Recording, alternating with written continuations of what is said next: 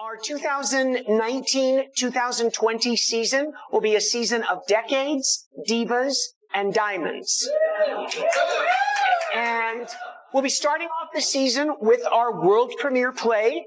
STC has commissioned a local writer, Carissa Meager, to write a new adaptation of Jane Austen's Northanger Abbey.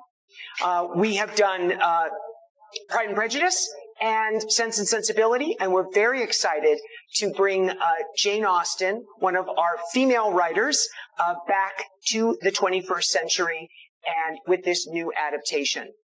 Then in our Pollock stage, first up will be Deathtrap.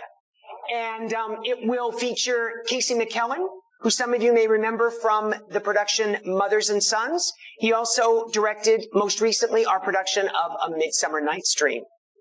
We will continue our tradition of our own adaptation of A Christmas Carol. Will be in its 32nd year of production, uh, and we'll be having thousands of students here to see that production. We always do a fun musical in our Pollock stage during the Jan- January slot, and we'll be bringing the country western musical Pump Boys and Dinettes to our stages. And we had a cabaret a couple years ago of country music, and it was a big uh, joy uh, to have people hear that kind of music. So we're excited about that.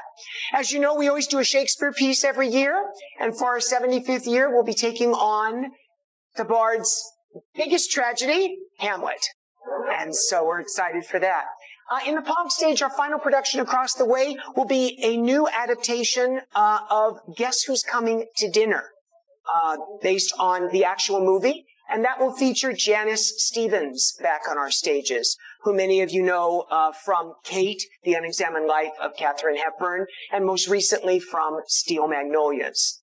And then we'll be ending the season um, with the very romantic musical A Little Night Music uh, by Stephen Sondheim and Hugh Wheeler. And that will also feature Natasha House in the role of Desiree. Uh, so it's an exciting season.